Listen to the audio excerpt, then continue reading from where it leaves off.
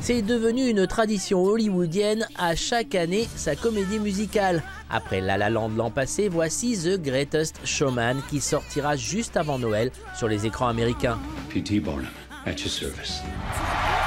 The Greatest Showman ou l'histoire de P.T. Barnum, l'inventeur du cirque moderne en chanson et en danse, avec Hugh Jackman dans le rôle de Barnum.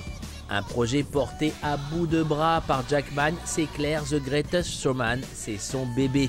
Et d'ailleurs, quelques semaines avant la sortie du film, on a rencontré le monsieur accompagné de son épouse au détour d'un tapis rouge, l'occasion de mesurer son impatience. The Greatest Showman, we're gonna discover it in a few weeks. I'm going to do a number for you right now. Please. how are you? Can't wait to see you. So how is how is the feeling a few weeks before you show it to the world? I'm really excited.